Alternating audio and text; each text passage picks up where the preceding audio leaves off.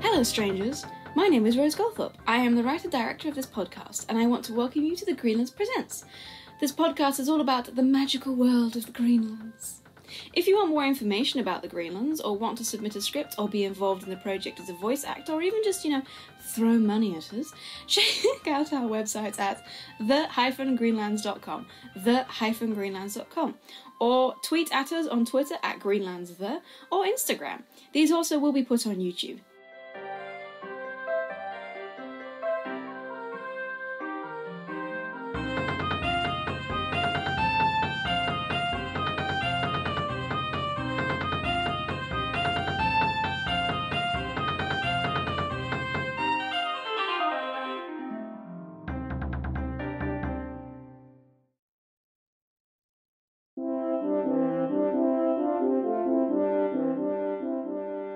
I'm very excited for this new season called The Baroness's Beef.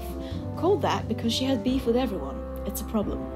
As with the previous two seasons, we meet a new cast of people and also meet some old returning favourites. This season, we get to meet Adamant's family and find out why it is that he is like that. The events of this season occur while the boys are away at school and then on their quest to the Sisters of the Middle Sun, so it runs parallel to the Knights Erratic. As more episodes from this new season come online, we will be removing old episodes of The Knights Erratic and putting them up on YouTube and on an archive on our website on thegreenlands.com. For this episode of The Baroness's Beef, I would like to thank our amazing cast Andrew Veale, Charles Knode, David McCran, Helen Varey, Kitty Bennet, Linda Dootson, Sam Parry, Sophi Cole, Vicky Holding, and Zoe Cunningham. I hope you all have a lovely and fantastic week.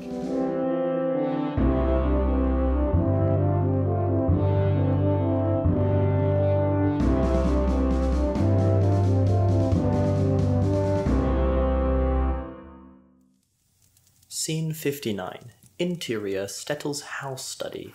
Morning. Stettel is writing at his desk. The door opens and the servant comes in, ushering in Ethelberta. The servant curtsies and leaves. Thank you, Gretchen. Good morning, Stettel. Stettel gets up in surprise. Um, good morning, Ethelberta. To what do I owe the pleasure of this early morning visit? Ethelberta sits down. Just a little thought I had. Stettel sits back down. And what was that? Stethill, do you have a handful of acquaintance who might, for a small fee, uh, come and pretend to attack the castle? What in the Greenlands for?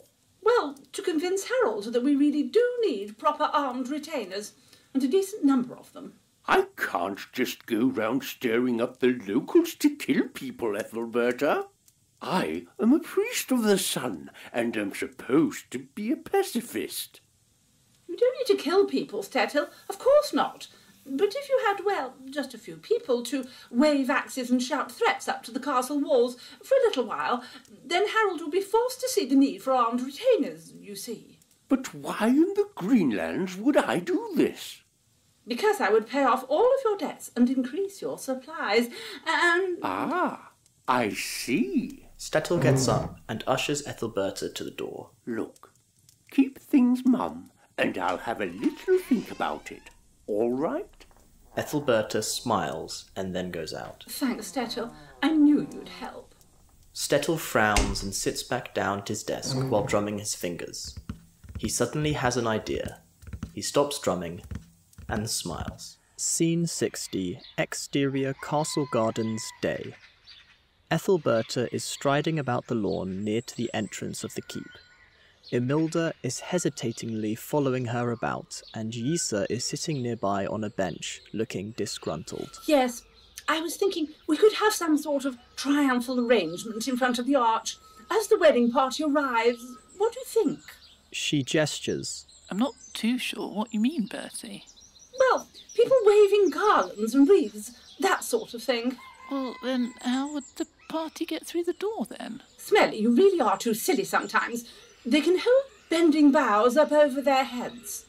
She gestures dramatically. What? The Duchess and her people arrive with lots of twigs? It's all stupid. Oh, it's not, it's celebratory. Ribbons and green boughs, you know. She smiles brightly at her audience. We must look bright and happy. Scene 61 Interior Castle Ethelberta's bedroom, day. Berb is standing on a stool, and a maid is pinning up his new jerkin, while Berb is scowling horribly. He wriggles and sighs.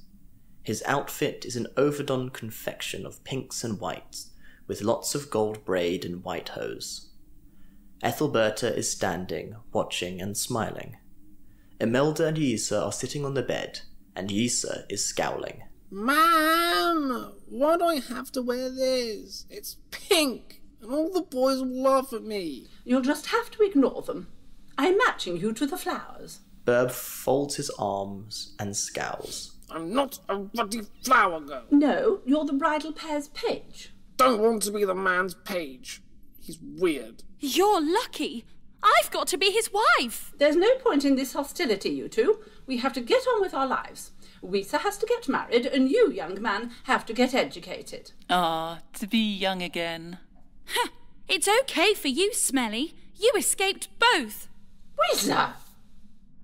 Scene 62 Interior Draper's Shop Day. Stettel comes into the shop. The draper's wife looks up and nods. Morning. Good morning, mistress. I've come to collect my robe. Who is it? It's that priest again. Maybe he'll have the money this time. Mistress Walleye gets the robe out from under the counter and she hands it over to Stettel, who takes it. That'll be four florins, father. Yes, um, well, I'll be paying you in a couple of weeks or so, as I have a large sum arriving then. Oh, yeah? Who from then, eh?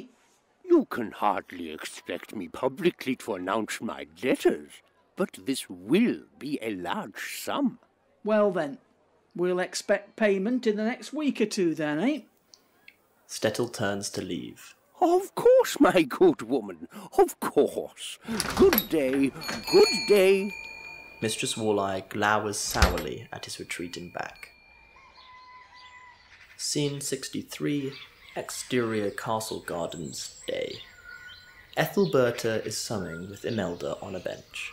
Ethelberta espies Berb entering through an external gate and heading for one of the keep doors.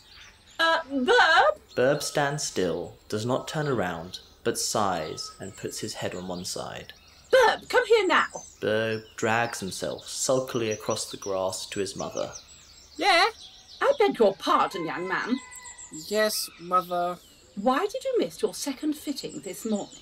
Don't want to be a page. Lord Greenhurst will think that very strange. Don't care. He's a weirdo. A what? She looks at Imelda for confirmation of Berb's insanity. I was talking to Gudgeon, and he said that he'd been talking to one of the Duchess's footmen. So. And he said that no one ever sees the Duke and the Lord Greenhurst when they're in the castle. That's weird. Are you saying that the Duchess keeps them locked up? Dunno. That's what Gudgeon said. This does not exempt you from your second fitting, Berb. I want to see you in my room immediately after breakfast tomorrow, young man. Now off you go. Berb turns and hurries away. Yes, ma'am. Ethelberta turns to Imelda. Whatever will they invent next? Scene 64 Exterior Woodland Afternoon. Uissa and Clarissa are both riding at a walk. They are both astride. Uissa is wearing Berb's clothes, but Clarissa wears a gown. Your mom'll kill you if she sees you astride. Don't care. Think I might start wearing men's clothes. Like you. You know? How? You haven't a brother, and your father's at least seven feet high. And he would kill you too. Um, when you're married, you'll be able to wear what you want. Don't think so. Why? Lord Greenhurst seems like quite a soft touch. Don't know. I ain't touched him. Clarissa screams in affected horror. Oh my god, I didn't mean that! Doesn't matter anyway, Clary, because I ain't marrying him either. They'll make you. They can't if I'm not there. You going to, like, run away?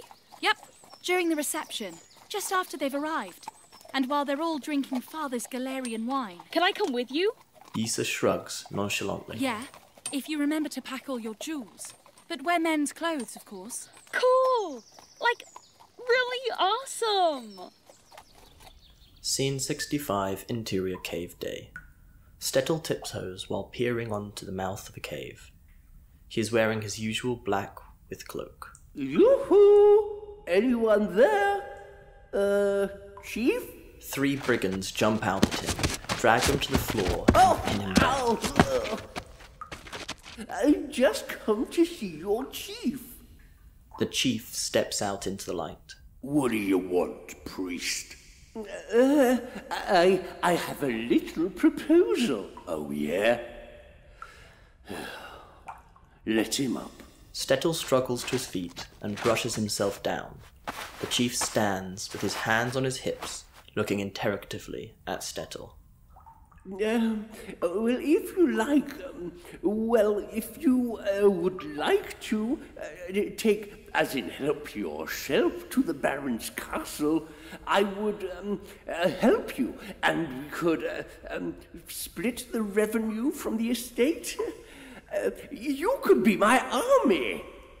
And how exactly would you help? Well, when you're attacking, I'll open one of the sally ports from the inside. They won't dream that I'm on your side. Is that it? Um, uh, no. Uh, also, I would kidnap Uissa, their daughter, so that they would not try to retake the castle. So, when does this happen? In around three weeks after the wedding. I'll send word. Stettel holds out his hand, and the chief slowly takes it. Uh, a bargain? Yeah, then. Quite an idea for a holy man. They shake. Scene 66. Exterior woodland morning. Berb is fiddling around with some metal greaves on the floor with Kazakh. I think if we can fasten these greaves together more firmly, see, the bang powder will be able to go and fire nails and stuff in one direction. Berb gets up, looking irritated. Yeah, but I've got to go, because Eurissa's getting married to that stupid Greenhurst around noon. Boring. Yeah, but. Berb suddenly grabs him and points. Look!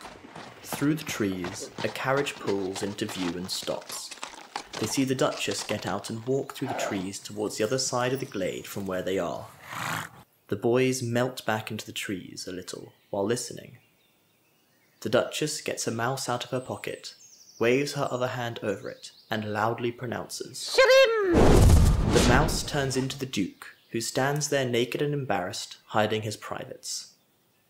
The Duchess then does the same, Shrim! with another mouse, and it turns into Lord Greenhurst, who is similarly embarrassed.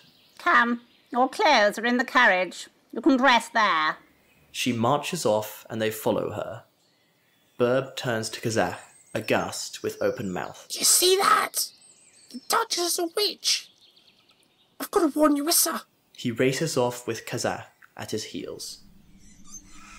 Scene 67 Interior Castle, Uissa's bedroom, morning. Ethelberta and Imelda are standing, watching the tirewoman dress Uissa in her bridal gown of white muslin and white flowered wreath on her head. Oh, you look so beautiful, my dear. I'm sure I shall weep. Uissa looks boot faced. Yes. Right. You're going to be so happy with Lord Greenhurst. No, I'm not. Whatever is the matter with you, Issa? Don't you like him? I can't marry him. Why ever not? There's not another young man, is there? Um, um, no. But Imelda looks out of the window near where she is standing. Oh, look. They're here. They're here. Ethelberta hurries to look out as well. Oh, let me see. Scene 68 Interior Castle Dining Hall, morning. The Baron's family are standing around near the buffet table in their best clothes, and the servants are pouring wine for them and the Duchess's family. The Duchess's two ladies in waiting are standing around, sniffling disapprovingly at the food and the family. Issa is standing at the edge of the group. Having excused herself from conversation with Lord Greenhurst, she slowly starts to edge away from the group. Suddenly, Berb appears at her elbow and tugs her clothes while looking nervously around. Tell Mother that I need to talk to her. Now! He is dirty, dishevelled, wearing his outdoor woods clothes, and is out of breath. Berb, where have you been? Mom will go mad if she sees you. Bring her here. Bring her here! I've got to tell her the magic word! No! I'm not getting mixed up in your latest excuses. She hurries away while Ethelberta is talking with the Duchess and the Baron with the Duke. Lord Greenhurst is picking up a piece of cheese with interest. Scene 69 Interior Castle, Uissa's bedroom morning. Uissa is dressed in Berb's clothes and is throwing other clothes onto a cloth on her bed. There is a stick nearby, also on the bed. Uissa looks grim. I'm not! I'm not! Scene 70 Interior Castle Dining Hall, morning. Uissa is just sneaking away, out through a passage, with her clothes tied up in a bundle on a stick, and she passes by the open dining hall door. Suddenly, she hears repeated screams and looks in at the scene. The screaming is coming from Imelda, who is standing on a chair to avoid two mice racing around. Berb is hopping up and down with glee, and the Baron is looking dumbfounded. See? I told you! I told you! How dare you! How dare you! The Baroness recovers herself. How dare I? She rapidly crosses over to the Duchess and slaps her soundly across the face. You old witch!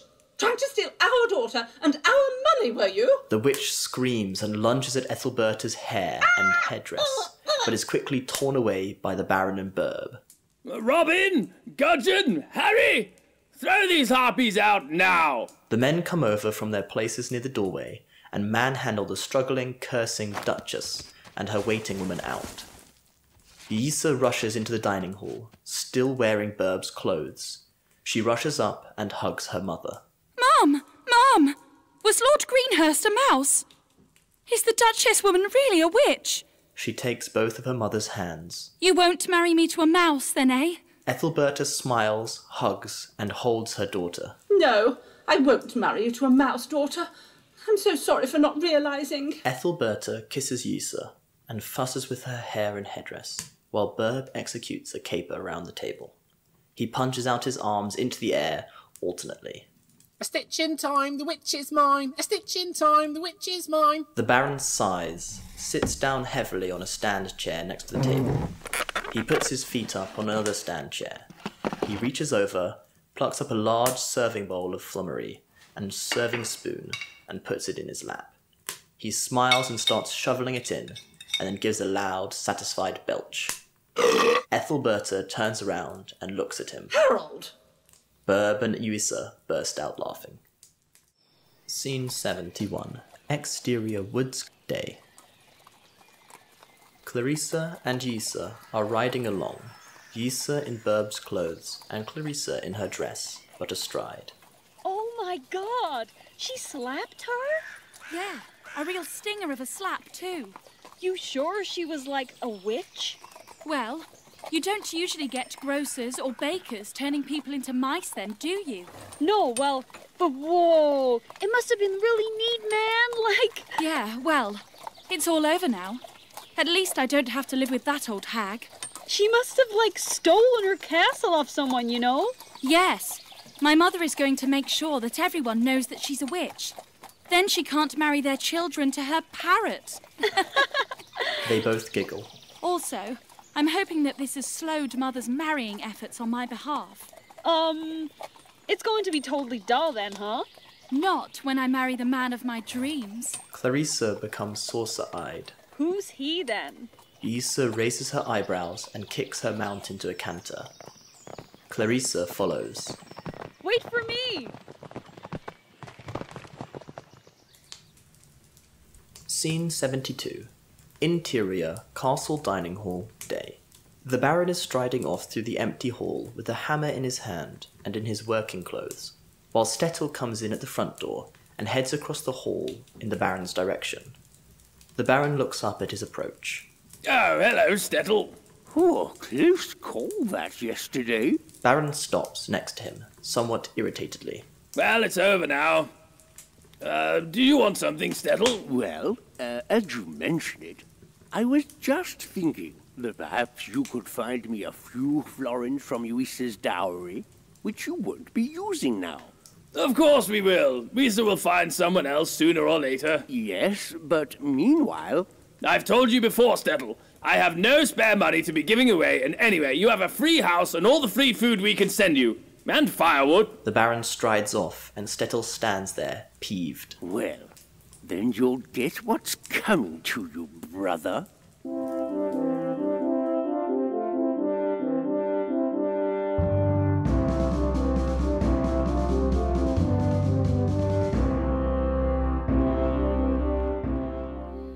That was an episode of the Baroness's Beef from the Greenlands Presents. I'd like to thank the brilliant Steve Cummings for editing this episode and the amazing David Berlin for making the music. We're just a small podcast, we don't have any marketing budget or anything, so we rely on word of mouth to get people to hear us. If you like us or think somebody else would like us, please drop us a review or share us on social media, tag us, and we will love you forever. If you want to know more about the worlds of the Greenlands or want to sell your spirits to an ancient and dark nature god, check out thegreenlands.com, the-greenlands.com. If you want to access our archive of previously seasons, check out YouTube channel The Greenlands Official. We love you all. Don't get cursed by a witch. See you next time.